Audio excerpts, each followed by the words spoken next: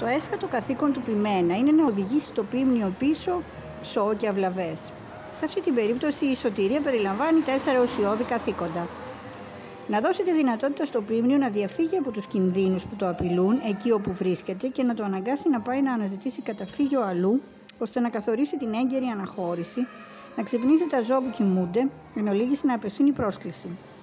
Θα σας βγάλω από τους λαούς, θα σας συγκεντρώσω εκ νέου σε άλλους τόπους. Η Εζεκιήλ.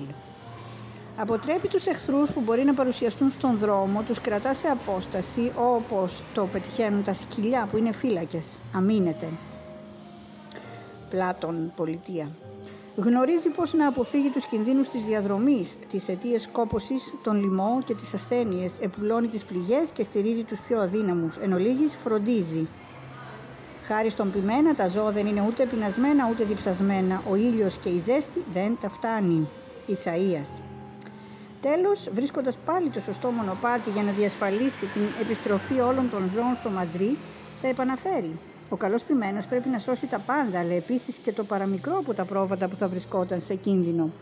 Εδώ είναι όπου το παράδοξο του ποιμένα καθίσταται αποφασιστική δοκιμασία, διότι υπάρχουν περιπτώσεις στις οποίες προκειμένου να σωθεί ολόκληρο το κοπάδι πρέπει να αποκλείσει από αυτό το ζώο του οποίου η ασθένεια υπάρχει ο κίνδυνος να μολύνει όλα τα άλλα. Πρέπει να κάνει μια διαλογή μεταξύ εκείνων των μονάδων που είναι υγιείς και εκείνων που δεν είναι εκείνων που είναι καλής ράτσας και εκείνων που δεν είναι καλής. Πρέπει να δώσει τη φροντίδα τους στα μεν και να απομακρύνει τα δε. Να διατηρήσει μόνο όποια είναι υγιή και μη μολυσμένα από τους νόμους του Πλάτωνα.